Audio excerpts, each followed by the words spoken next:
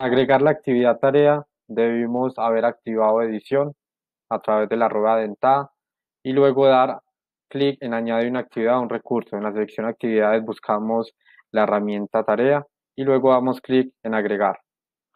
En la nueva ventana eh, debemos definir o configurar algunas opciones, comenzando por dar una denominación a la tarea.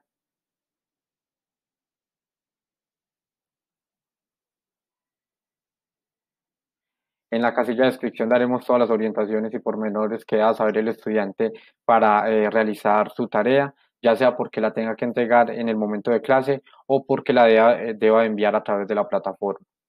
Si esas orientaciones están acompañadas de una rúbrica o criterios de evaluación o un archivo que sea necesario compartir y que tengan y deban tener los estudiantes, pues lo haremos a través de esta opción, ya sea por este icono o a través de esta flecha subir un archivo, seleccionar archivo, buscamos el archivo que consideremos necesario y le damos clic en subir este archivo.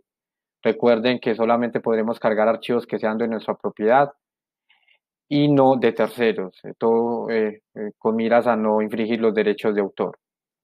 En relación a la pestaña disponibilidad, activaremos las tres primeras opciones, siendo fecha límite una opción oculta de cara al estudiante, es decir, si en la fecha de entrega que es la fecha final para que los estudiantes entreguen la tarea, coloco que va a estar disponible hasta las 11 de la noche la posibilidad de entregar su tarea.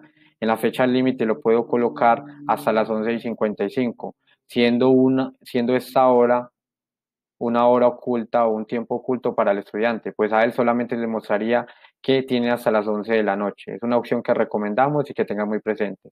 Esta casilla de mostrar siempre la descripción si la dejamos activa desde el mismo momento que creamos la tarea y la habilitamos, los estudiantes podrán ver la descripción o las orientaciones de la, de la tarea.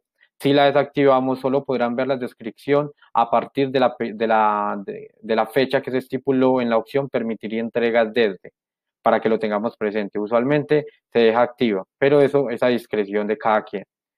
En la pestaña tipos de entrega activaremos texto en línea en caso que queramos que los chicos acompañen los archivos enviados con alguna observación.